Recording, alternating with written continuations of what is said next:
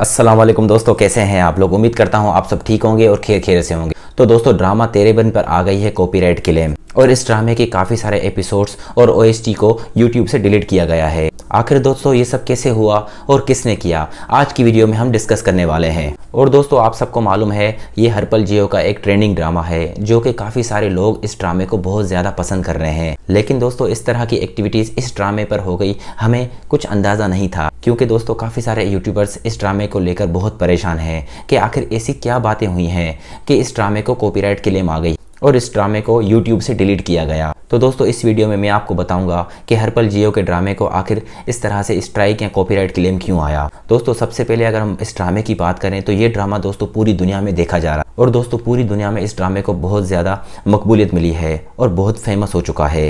लेकिन इस तरह की एक्टिविटीज़ दोस्तों यूट्यूब ने बिना सोचे समझे कॉपीराइट क्लेम दे दिया। तो दोस्तों यूट्यूब से ये तो नहीं थी, क्योंकि यूट्यूब तो एक प्लेटफॉर्म है, वहाँ पे जिसका कंटेंट मतलब चुराया जाएगा, वो तो बस फ़ौरन कॉपीराइट क्लेम या कॉपीराइट स्ट्राइक दे देगा। लेकिन दोस्तों क्रिएटर को बहुत बड़ा नुकसान होता है, आप सबको मालूम। लेकिन दोस्तों, इस केस में क्या हुआ है, एक चैनल है इंडिया का जी म्यूज़िक कंपनी दोस्तों, तकरीबन उसके 93 मिलियन सब्सक्राइबर हैं। उस चैनल ने हर पल जियो के ड्रामे तेरे बिन को कॉपीराइट क्लेम भेज दिया है। दोस्तों, ये बिल्कुल शॉकिंग न्यूज़ है तेरबिन ड्रामे की टीम के लिए, क्योंकि ये ड्रामा बहुत ही ट्रेंडिंग पर जा रहा था और हर पल जियो का बहुत बड़ा ड्रामा था।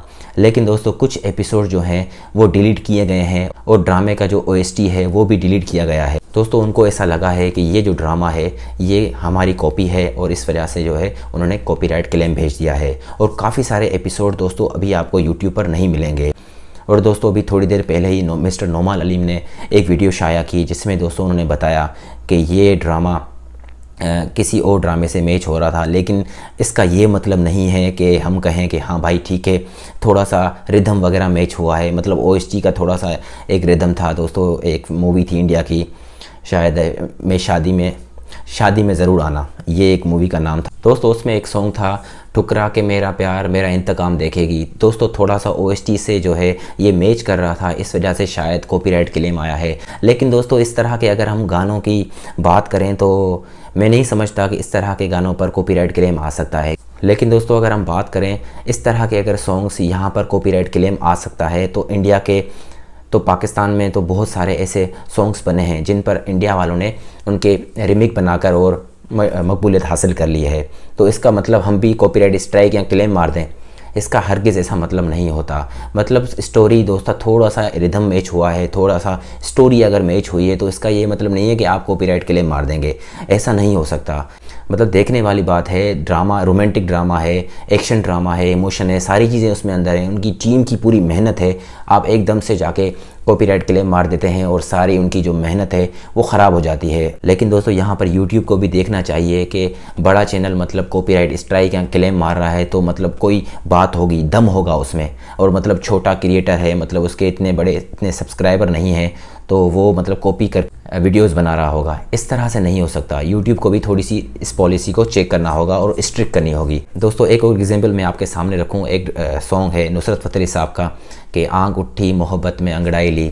वो भी दोस्तों देखें आप, कितना पुराना सॉन्ग है। लेकिन जुबैन इंडिया का जो एक सिंगर है, उन्होंने ये गाया और और यूट्यूब पे हद से ज़्यादा उसके पर व्यूज़ हैं। तो मतलब वो पाकिस्तान वाले जो है, वो इंडिया पर कॉपीराइट स्ट्राइक कर दें। ऐसा नहीं हो सकता। क्योंकि दोस्तों, अगर इस तरह से हो तो फिर इंडिया के हज़ारों ऐसे सॉन्ग्स हैं, वो तो फिर स्ट्राइक में बंद हो जाएँगे। वो तो फिर उनके जो सारे पैसे वगैरह हैं, सारी चीज़ें ख़त्म हो जाएँगी। ऐसा नहीं हो सकता। मतलब कुछ क्रिएटिविटी होती है, कुछ चीज़ें होती हैं, उनको मद्देनज़र रखते हुए ये सारे काम होते हैं। पीछे बहुत सारी मेहनत लगी होती है। मतलब कोई भी आकर कॉपीराइट क्लेम मार सकता है, ऐसा नहीं हो सकता। दोस्तों, आप सबसे गुजारिश है कि आप इन सब पे जो है आवाज़ उठाएँ, क्योंकि तेरे बिन ड्रामा बहुत ज़बरदस्त है और मैं नहीं समझता सिर्फ़ पाकिस्तान तेरे बिन ड्रामे के फ़ैन हैं। इंडिया में भी काफ़ी सारे लोग जो हैं वो तेरे बिन ड्रामे को देख रहे हैं और पूरी दुनिया में इस ड्रामे को देखा जा रहा है। तो दोस्तों, गुजारिश है कि ये कॉपीराइट क्लेम जल्द से जल्द हट जाए और सारे एपिसोड वापस यूट्यूब पर आ जाएँ और OST भी वापस आ जाए।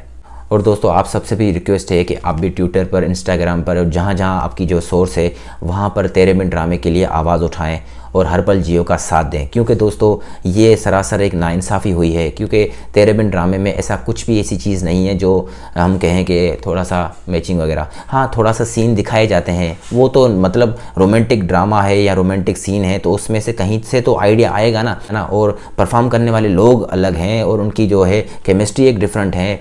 वो मेहनत कर रहे हैं। इसका ये मतलब नहीं है कि कॉपी है। ठीक है दोस्तों तो दोस्तों, आप सबसे गुजारिश है कि ये सब आप करें। जल्द से जल्द ये वीडियोज़ जो हैं, वो वापस आ जाएँ। दोस्तों, बस आज के लिए इतना ही, और मिलते हैं अगली वीडियो में, तब तक के लिए अल्लाह हाफिज़।